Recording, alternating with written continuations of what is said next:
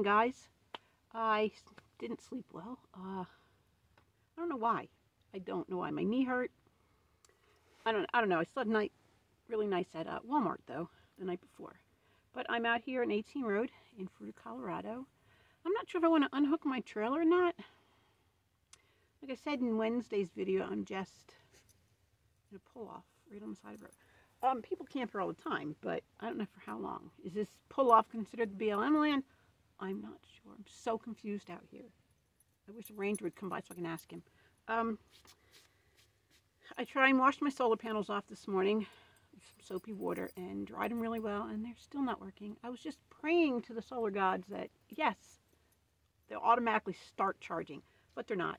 My battery's on 90%. I mean, the only thing I use it for is charge my phone and my tablets. I download a bunch of stuff um, on all three things. I watched 28 Days Today with Sandra Bullock. What a great movie. It had me crying.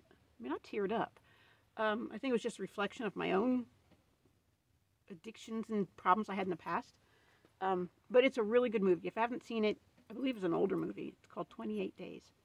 And I watched, binge watched last night Indian Matchmaking that was pretty cool. I love the Indian culture. Um, I love their clothes, all that stuff. So I plugged my fridge in because it did not feel cold this morning, and I have food in there that I don't want to go bad. Um, it's only taken 6 watts, but still, my battery's at 90%. So I guess tomorrow, maybe I'll go into town. because I'll need to get ice. That's what's in there now is ice, but I don't know why. It's only been there a day and a half. Not even that long. Oh, and away. He's determined to knock everything over. I have a bowl of grapes and these little, I don't know call them. They're gluten-free, vegan, little teeny, um, like this big. Let me do it two hands. They're just little like a bagel round, but they're blueberry. They're really good. And he knows it's sitting there on the hitch. But he knows better. So, and then I'm going to take a ride back that way and show you a couple of the campgrounds and the big camp, the big parking lot that's for event use and day use only. Elliot's out. Owen's having a ball just staying outside. He was digging a hole earlier, which he has no idea what to do. Uh, a few months ago, he like try and dig a hole and put his toy next to it. I think he was trying to bury it, but didn't get the concept right. They had to put the toy in the hole. Uh, it was, but it was cute to watch. So that's about it. I did a deep clean kind of today in my trailer. Um, got my heater back under the bed. I kind of put stuff under there to barricade the cat because he's been getting under there. Right now he's up in a shelf, which both shelves in my bathroom fell twice yesterday. Yeah, I sold my drill. I'm like, I don't need it. I hardly ever use it, and it was too heavy for me, and it's getting old. I've had it 10 years. It's a Ryobi, the combo set, the drill and the flashlight, which I've never been able to use the flashlight because the moment I brought it home, my son opened it up, touched the flashlight, the bulb, and it broke the bulb. And every time I remember to pick one up, it was like, me sitting here today, oh, I need a bulb for that flashlight. And then I go out to the store and forget. So anyway, um, I sold it. And now I could have used it. It's a little thing that holds brooms. I have that on the wall. All I did was stick it on the wall because it has a sticky thing on the back. And I put my mallet in that and I bungee the dog pen to it so I can use part of the dog pen as a gate for the front door so Owen doesn't jump out or anybody run out on me. Yeah, well, that little sticky thing came off, so now I could use my drill. I'll have to hand screw it in there. I could have used it yesterday to fix the shelves. Um, yeah, it, many uses I could have used yesterday with that damn drill. But I want to get like a small impact driver type thing. Um, just something lightweight and more powerful. So uh, that's it for today. I'm actually sitting outside in the sun. Debbie, if you're watching this, I'm out here in the sun getting some vitamin D. It's only, what, 9 o'clock, I think, in the morning? Home got up at 5.20, but I was not taking them out because they went out late, like 8.30 last night. So I was hoping that they'd sleep late. Elliot slept late. Violet got up before Elliot did. So, but I'm out here in the sun. It's beautiful right now. I don't know what's supposed to be today. Um, I have sketchy service here. I'll send, get and send messages if I put my phone in the window. But sometimes that takes a bit. Uh, cars going by still weird to talking to camera in front of people. Hey, stop trying to play with him. Stop that. All right, I gotta go. He's gonna knock Elliot over.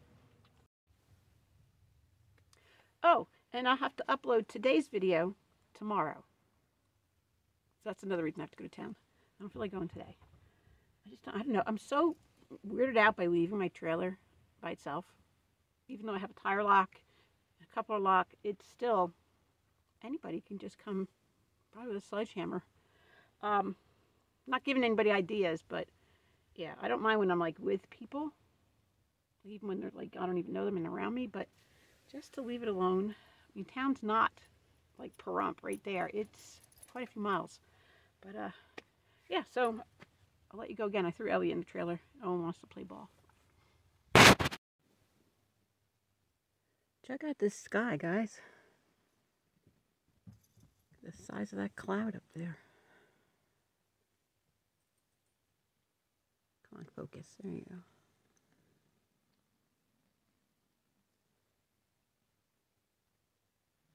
Really pretty.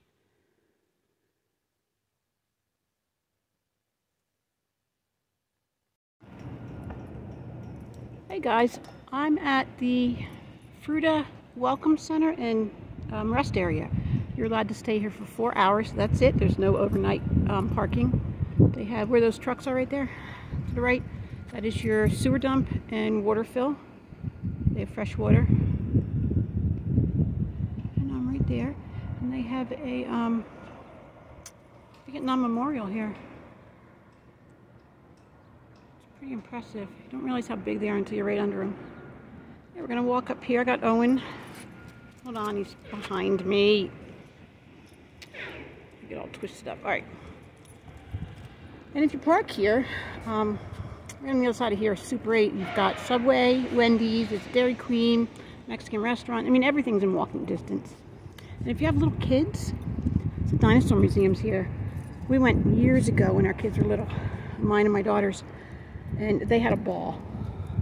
The favorite thing I liked was the earthquake floor. You stand on it and it simulates an earthquake. That was pretty cool. It's another cloudy day today, but it's getting warm out. This is pretty nice though. Let me just take a moment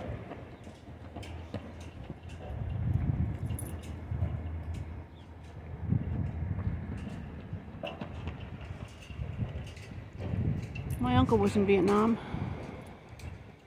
He's Agent Orange now.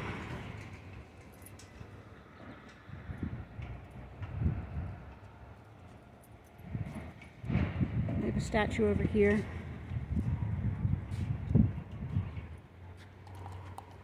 Kind of heartbreaking to know a lot of them didn't come home to have that that reunion with their parents.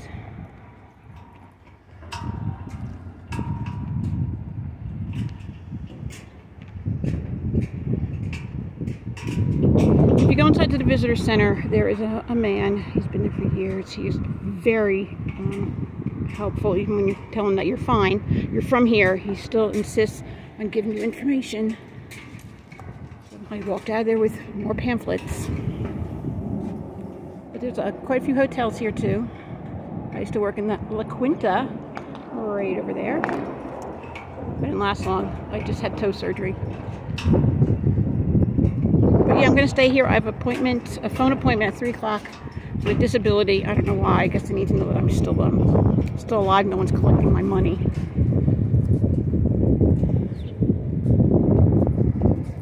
Wish you guys could smell this cherry tree. It smells so pretty. It looks like snow when all the blossoms start blowing away. Alright, I'm probably to head back out to the desert tonight. I didn't unhook my trailer. I kept it all hooked up. Um, I got ice. I'm charging my Jackery right now. And I'll charge my phone and everything. Or I might stay in town. I don't know. We'll see. I'll talk to you guys later.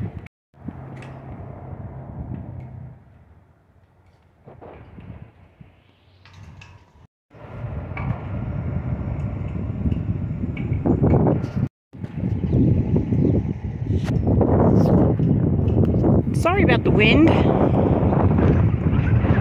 if you can see the prairie dogs out there. But please, whatever you do, don't walk your dogs near them. Um, every year, I don't wind die down. Um, they carry fleas, and there are people in Colorado that die each year from bubonic plague. So I don't ever walk my dogs if I see that there's prairie dog activity on the side of the road somewhere. I stay away from it. Colorado's a dangerous state. I've said that before. But they were all just running around when I walked over here. There's some that are poking their heads out the hole. There goes one running. They're really cute. When I first moved out here and saw them on the side of the road, they would stand up there. Like, um, if you ever saw that show, what were those little things called? Over in Africa. I Gotta figure out what they were called. But they collect the sun and they use that throughout the day and the night down in their burrows. It's really weird how their body works like that. I think that's amazing. Wish we were able to do that. I did not know this about Butch Cassidy being in Colorado. All these signs had so much information about Fruita, Colorado. Um, I didn't record talking about them then because it was so windy out. But there was so much on each one of these little placards. I think this was the most I've ever seen in any of the rest areas. I don't know if you can, you know, want to stop your, pause it and take a look at them. But it was really cool. This is a really nice visitor center. But there's no food or anything to buy inside.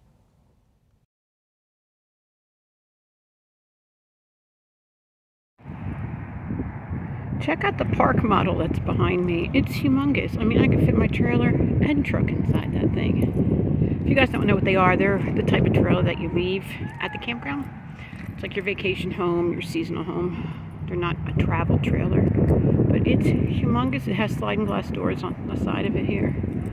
It's huge, so mine looks so tiny right now.